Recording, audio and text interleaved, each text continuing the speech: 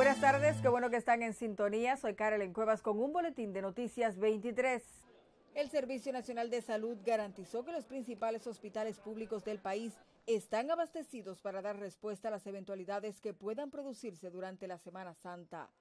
Chanel Rosa, director del SNS, dijo que desde Promese fueron entregados materiales, insumos y medicamentos necesarios. Ya Promesa abasteció nuestros hospitales en atendiendo a la demanda que nosotros esperamos que se produzca en, medicamentos y material gastable. Es decir, que en ese sentido los, el, servicio, el servicio público de salud está ya eh, listo para que eh, recibir y ojalá que sea mucho menos, mucho menos que otros años, que años anteriores las personas que reciban eh, los, en los hospitales.